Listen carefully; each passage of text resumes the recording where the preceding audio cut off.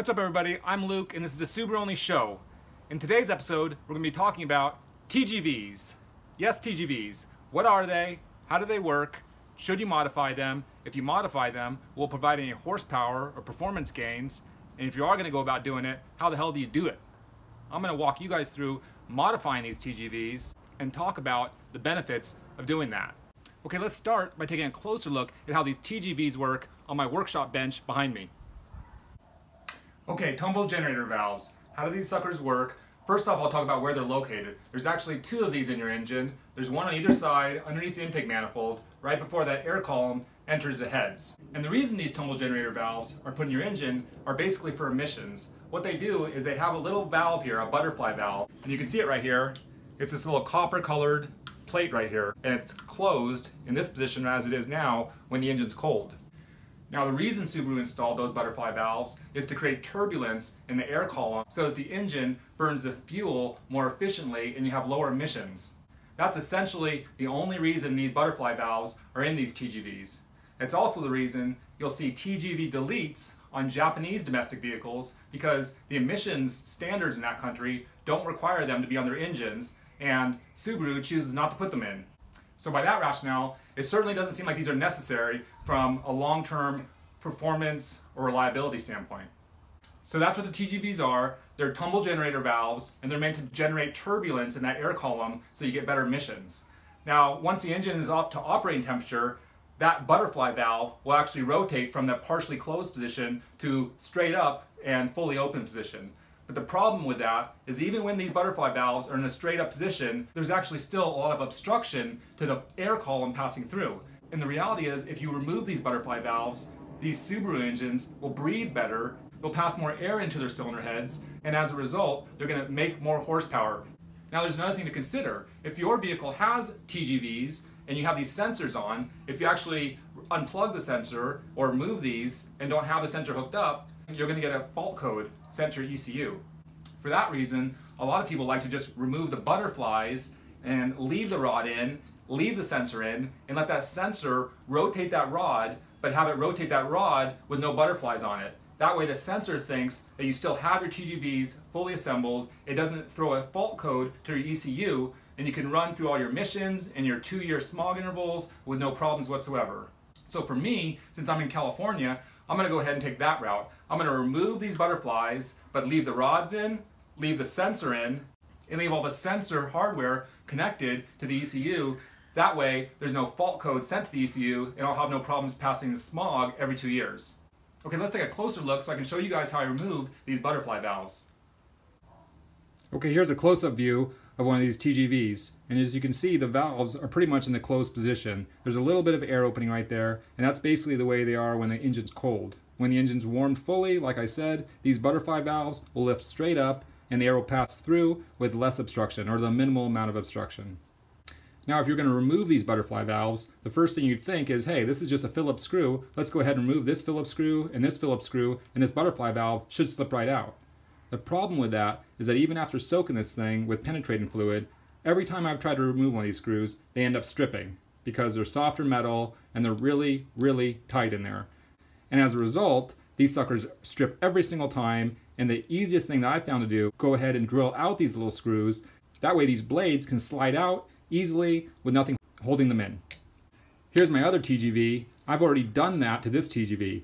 Those screw holes stripped as soon as I tried to use a Phillips screwdriver on them. So I actually ended up having to drill them out with a drill bit, and then I could pull those blades out.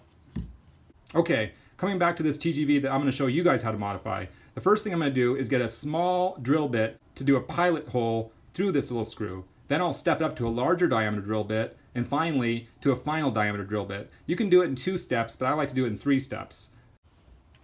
Alright, start with your smallest bit. Basically just get perpendicular to your rod and start drilling that sucker. Light pressure.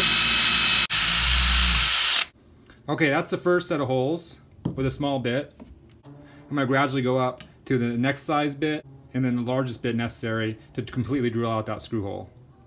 So these are basically the three drill bit sizes I'm using. Another thing I'll mention is try not to scratch or mar any of the inner bore surface here. You want to keep this inner surface totally smooth. You want to try not to damage any of this rod so that you keep it totally smooth. This rod is going to have to rotate still. There's a little motor in here that rotates that rod when the engine gets warm. And you want that rod to be able to rotate so that the sensor doesn't trip any fault codes for your ECU. Or I've drilled the next size hole. That's what it should look like. Still no damage to that rod. Next we'll drill the last size so that those screws are completely bored out and I can remove those blades. All right, the third and final hole is drilled and I should be able to remove these plates. Clean off those shavings. And let's go get some needle nose pliers and let's see if we can pull those brass looking plates out. Okay, I got a set of needle nose pliers.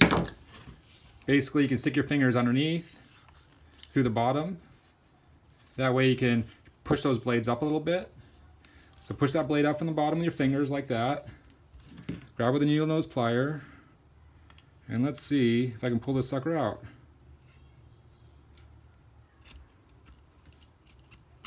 Boom! Out. I feel like I just pulled a piece of shrapnel out of a, of a dying, injured man. All right, let's see if I can pull this one out. Oh yeah, he slide right out.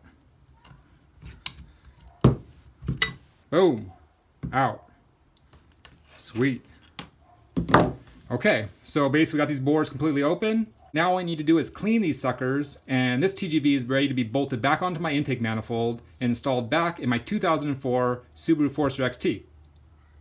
Alright, and that's it. We got the butterfly out of the TGV. This is a pseudo semi TGV delete now. Still has a rod in there, but I'm willing to bet that having this butterfly valve removed does add some horsepower. And as a matter of fact, if you'll check out our buddies over at MRT Performance down under, Brett Middleton, a little shout out to you, my brother. Love your shit. You're a legend. Keep doing what you're doing.